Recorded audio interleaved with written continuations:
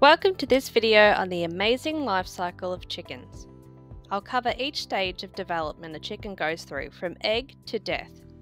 If you enjoy this video and want more, please subscribe to my channel and hit the notification bell for more content about poultry. Chickens start their life as eggs, laid by hens in a cosy nest.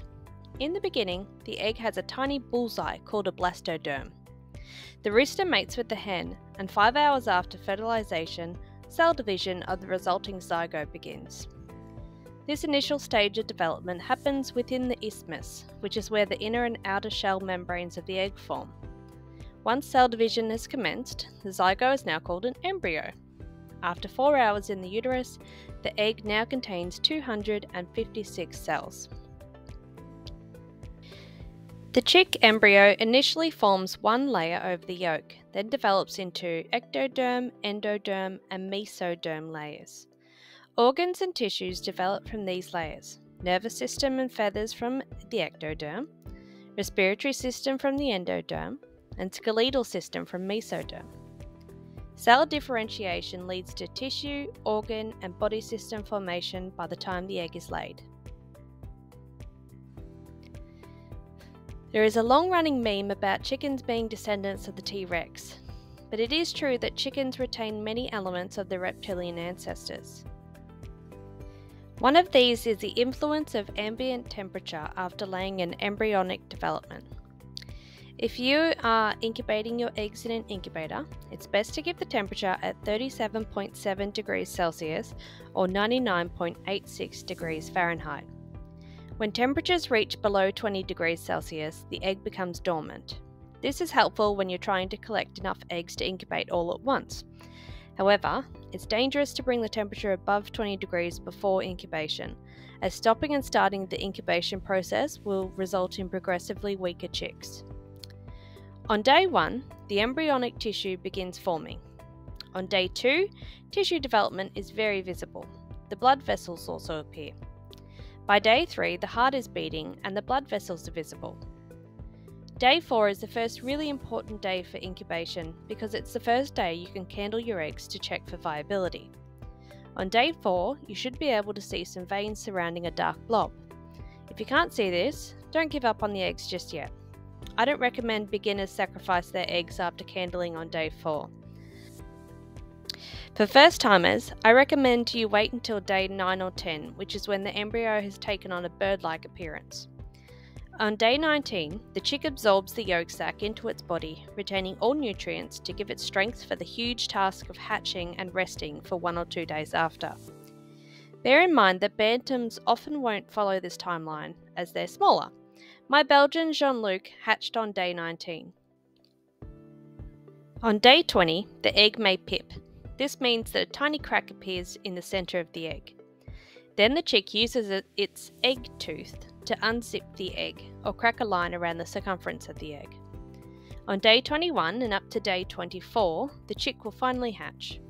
The chick will be exhausted and will rest for a day afterwards while it dries and fluffs up. At this stage, and for the first few weeks, a common problem seen in chicks is uh, sometimes known as pasty butt. This doesn't tend to occur in hen raised chicks because the mother will clean them, but in a brooder setting, a chick can develop a buildup of feces around its vent. You can dampen a paper towel and wipe the buildup off.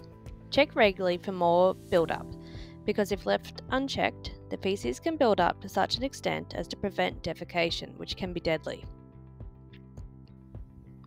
As they mature, chicks become pullets or cockerels, depending on their sex. Pullets are hens under the age of one, while cockerels are roosters under the age of one.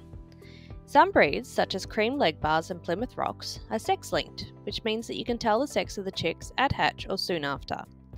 There is obviously significant desire for this trait in the commercial egg industry, where cockerels are undesirable.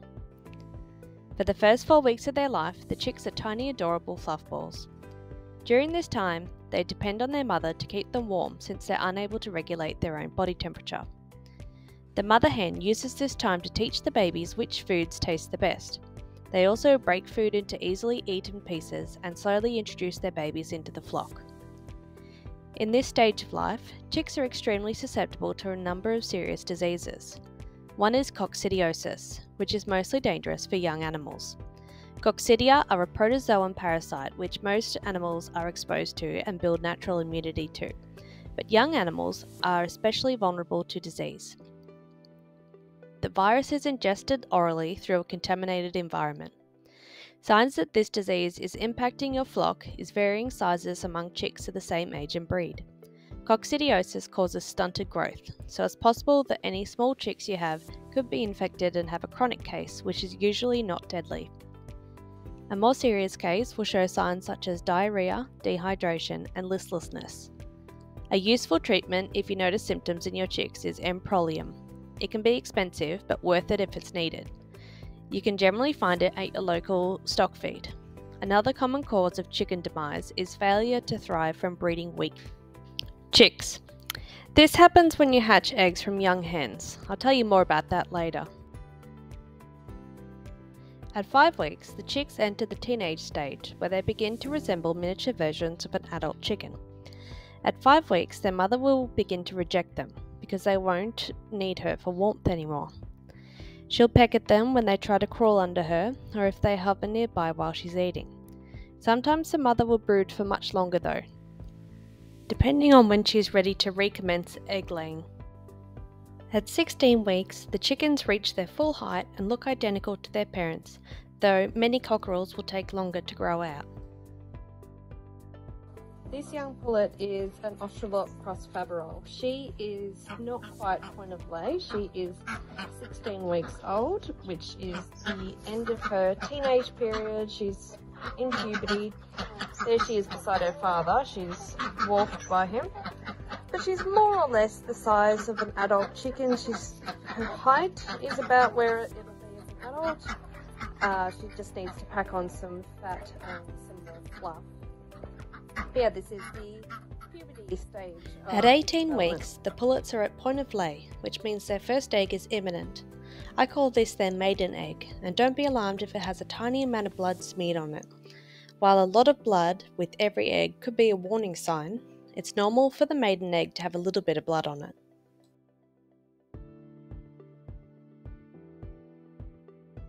My, my young Australorp here, Belinda, is point of lay. As you can see, she more or less blends in with the adult hens.